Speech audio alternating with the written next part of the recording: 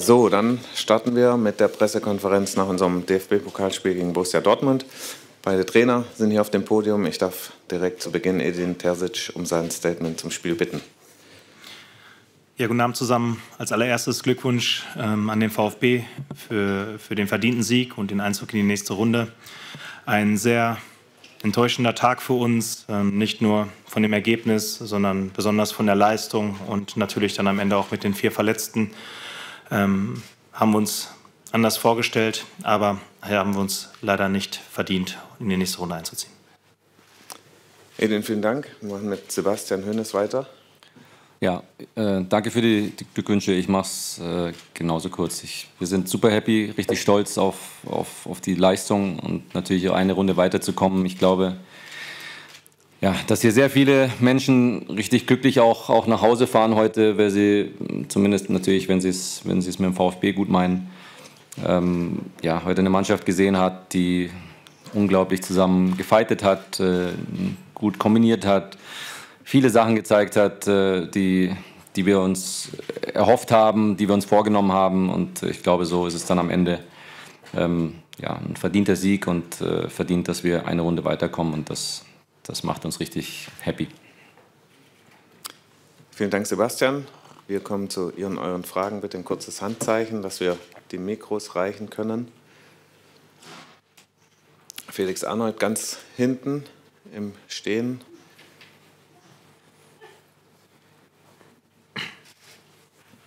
Ja, hallo Herr Hönes, Glückwunsch zum Sieg. Ähm, Dennis Undaff hat nach dem Spiel bei den Kollegen vom TV gesagt, dass er sich für die deutsche Nationalmannschaft jetzt entschieden hat, vor den Augen des Bundestrainers.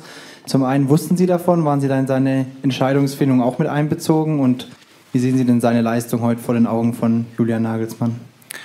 Ähm, ja, zur ersten Frage, ja, ich wusste es. Ähm, ja, ich finde, dass er eine gute Leistung gezeigt hat, wie, wie viele heute auf dem Platz. Ich glaube, ähm, ja, dass wir gerade in der ersten Halbzeit sogar hätten die eine oder andere Situation besser ausspielen müssen. Ich glaube auch, er war in einer Situation beteiligt, wo er vielleicht querspielen kann, aber ähm, er hat so viel auch wieder kreiert, gearbeitet für die Mannschaft, äh, ist ein sehr, sehr fleißiger Stürmer. Ähm, ich denke, auch er hat heute eine, eine wirklich gute Leistung gezeigt. Dann geht es in der zweiten Reihe weiter.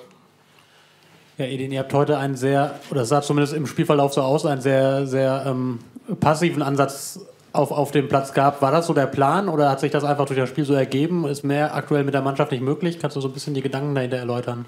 Nein, wir haben keinen passiven Ansatz gewählt, sondern wir wollten heute ähm, noch höher anlaufen und aggressiver verteidigen, als wir es noch am Wochenende gegen Leverkusen getan haben und eher so aus dem 3-4-3 mehr Druck auf den Ball erzeugen. Ähm, ich glaube, das war besonders in den ersten 20, 25 Minuten ein Spiel mit ganz wenigen Torchancen. Ähm, was dann aber zu diesem Eindruck geführt hatte, war einfach die Anzahl an unnötigen Ballverlusten, die wir hatten im, in der eigenen Spielhälfte. Und dadurch äh, wuchs die Verunsicherung in unserer Mannschaft und äh, da, dadurch wuchs die Sicherheit, die, die Stuttgart dann ausstrahlen konnte. Sie haben es dann eiskalt ausgenutzt ähm, und das hatte uns heute gar nicht gefallen. Dann eine Reihe weiter hinten. Hey, den, ähm, der DFB-Pokal gerade jetzt gerade in dieser Saison ist die größte Titelchance für euch gewesen. Wie extrem schmerzhaft ist das dann, wenn man diese Chance jetzt so einfach wegwirft heute? Ja, natürlich sehr enttäuschend, weil äh, wir, wir, wissen, dass das der, der, kürzeste Weg ist zu einem Titel, aber wir wissen auch, dass er hart ist. Äh, wir hatten heute eine, eine, schwere Aufgabe hier in Stuttgart, die sind wir nicht gerecht geworden und dadurch ist es ähm, verdient, dass Stuttgart weiter um den Pokal kämpfen darf und wir nicht. Herr Hönes, Glückwunsch äh, zum Sieg. Ein Kommentar zur äh, Leistung von Dan Axel Sagadou heute, als auch so ein bisschen ja, aus den vergangenen Wochen.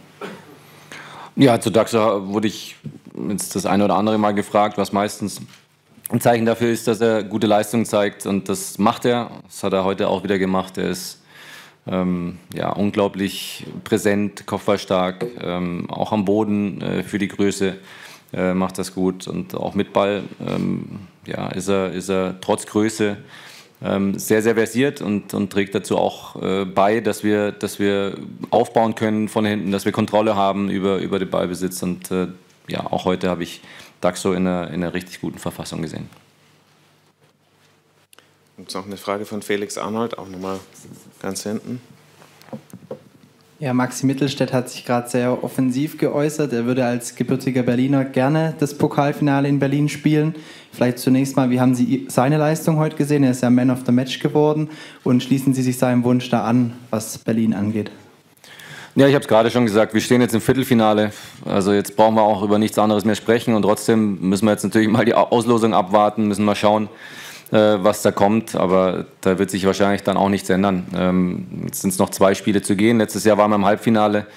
Ähm, da war die Konstellation natürlich noch mal ein bisschen eine andere. Da weiß man gar nicht im Nachhinein, ob es vielleicht besser war, dass man nicht ins Finale kam, ähm, weil es sonst zwischen den Relegationsspielen äh, stattgefunden hätte. Dieses Jahr äh, hoffen wir, dass, dass wir über solche Themen nicht nachdenken müssen. Aber wir haben jetzt erstmal eine Runde dann zu spielen, auch da wieder Runde für Runde. Aber ich kann Maxis Wunsch oder möglicherweise auch Traum äh, teilen, äh, in Berlin Pokalfinale zu spielen. Aber jetzt äh, gehen wir mal einen Schritt nach dem anderen. Ähm, Maxi hat ein überragendes Spiel gemacht. Ich finde, dass er allgemein in einer richtig, richtig guten Verfassung ist. Ähm, hat hinten viele, viele Zweikämpfe gewonnen und äh, hat heute wieder eine überragende Aktion gehabt, wo er den Ball durchsteckt zu zu Silas. Ich glaube auch das erste Tor leitet er mit einem mit dem Pass zu Enzo. Ähm, genauso einen Steckpass hatte er letzte Woche schon gegen Bremen, wo Silas noch, noch verzieht. Ähm, Maxi macht seine Sache schon, schon richtig gut. Ähm, ich hoffe, dass er, dass er dabei bleibt, dass er gesund bleibt.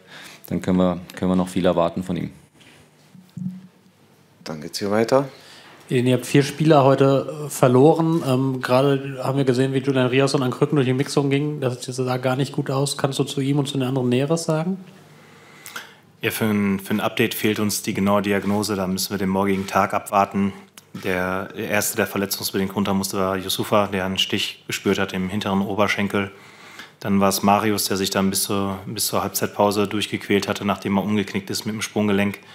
Marcel Sabitzer hat äh, einen Schlag in die Wade bekommen, hat dann auch noch lange versucht und getestet in der Halbzeitpause, aber konnte nicht weiterspielen. Und dann die unglückliche Situation ganz zum Schluss mit Julian Riasson, der sich das Knie bei der Landung verdreht hat. Ähm, müssen wir abwarten. Wir, wir drücken einfach allen die Daumen, dass sie, dass sie ganz schnell wieder gesund werden. Haben wir hier noch eine Frage? Ich würde gerne nochmal auf das System zu sprechen kommen und auf die Ausrichtung. Du hast gerade gesagt, dass ihr dann sehr verunsichert wart nach den ersten Ballverlusten und gerade dann auch im Rückstand.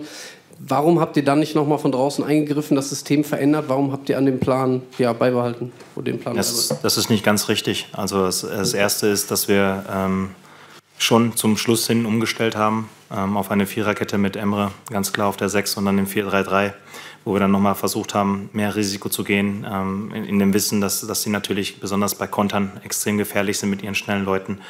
Ähm, die, die Grundüberlegung war einfach, mehr Druck im Zentrum zu haben und, und immer wieder mit den äußeren Innenverteidigern, also mit den, mit den Dreierkettenspielern durchzuschieben, durchzustechen und um da Druck zu erzeugen. Und ähm, die Verunsicherung wuchs nicht dadurch, dass wir defensiv die Stabilität nicht hatten, sondern es wuchs dadurch, dass wir viel zu viele Bälle abgegeben haben und dann viel zu häufig hinterherlaufen mussten. Und all die guten Balleroberungen, ähm, die waren dann nach fünf Sekunden wieder zunichte gemacht worden, indem wir die Ball einfach weggegeben haben. Wir haben dann nicht miteinander kombiniert, sondern haben den Ball einfach weggespielt und wollten damit nichts mehr zu tun haben. Und dadurch wuchs die Verunsicherung und dadurch ähm, hatten wir gar keine, gar keine ähm, Ballbesitzphasen mehr. Und das ist das, was uns gestört hat, weil es dann ab der 58., 59. Minute, kurz vor dem Abseitstor und kurz danach, ähm, da hat man gemerkt, was möglich gewesen ist, wenn man sich zeigt, aktiv, wenn man sein Mitspiel unterstützt im Ballbesitz, wenn man aggressiv nach vorne verteidigt. Und dann hatten wir eine gute Phase erwischt, aber leider und viel zu wenig und viel zu selten.